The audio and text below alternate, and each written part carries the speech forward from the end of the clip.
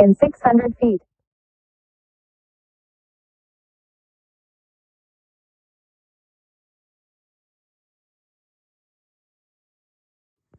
All right, so the remediation process has been done.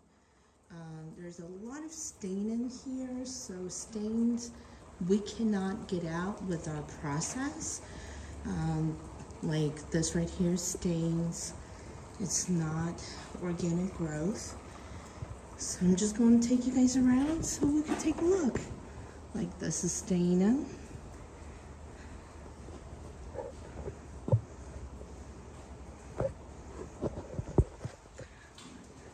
Those are stains.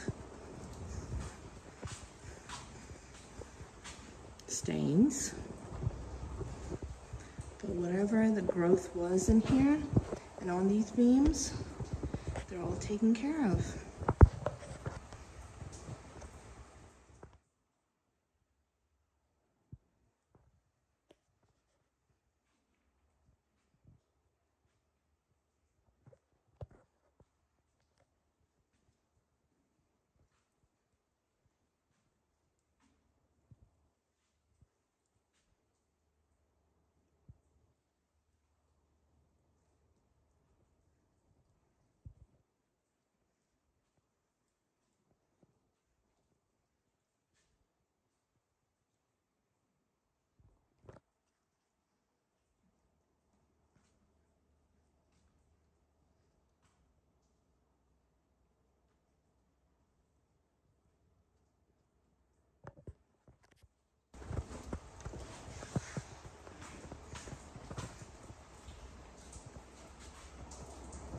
These were covered in a lot of growth.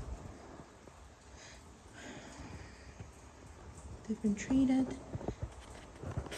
When we come out and do remediation process, we pretty much treat everything that has discoloration, but some of it, like some of these won't come up because it stains, just like this one that stain. but everything's been treated.